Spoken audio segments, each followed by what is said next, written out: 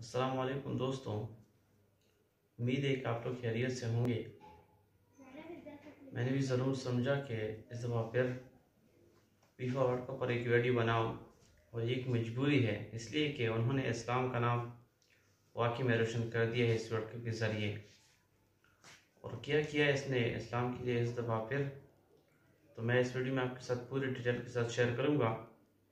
लेकिन वीडियो शुरू करने से पहले मैं आपसे छोटा सा रिक्वेस्ट करूँगा कि आप लोगों ने हमारे चैनल को सब्सक्राइब वीडियो को लाइक और दोस्तों के साथ शेयर करना है। तो आपने वीडियो को स्किप नहीं करना है।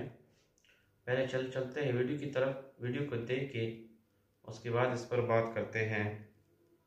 तो आप इस वीडियो को देखें। इस वीडियो को देखें।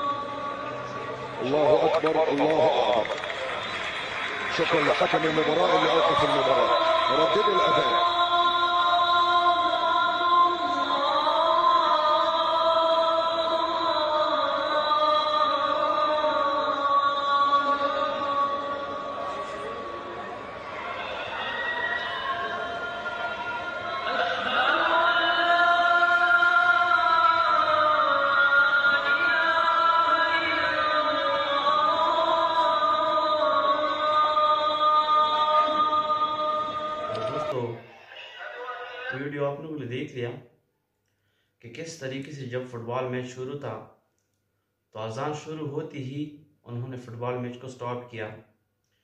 यानी यहाँ से आपको पता चल सकता है कि वहाँ पर इस्लाम की कितनी इज़्ज़त है। लोगों को बता रहे कि हमारा इस्लाम एक ऐसा मज़हब है कि जिसके लिए हम दुनिया के किसी भी काम को रोक सकते हैं।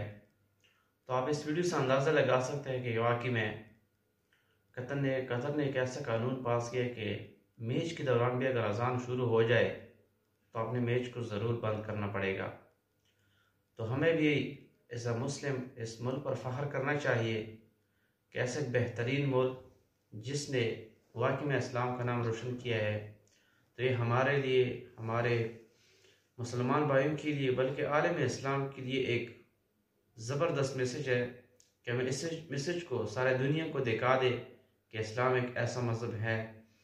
तो वीडियो तो आप लोगों ने देख लिया तो मैंने भी अपना राय दे दिया कि वाकई कतर ने अपना जो हक था इस्लाम के लिए, अपना जो करदार था वो अदा किया है। लेकिन हम पर हम पर भी फ़र्ज़ बनता है कि हम भी इस्लाम की हर जगह पर अपनी हिफाजत कर लें। और आप लोगों से भी दरख्वास्त करूँगा कि आप लोगों ने भी इस वीडियो पर अपना कमेंट लाजम देना है। तो वीडियो देखने का बहुत शुक्रिया। अस्सलाम।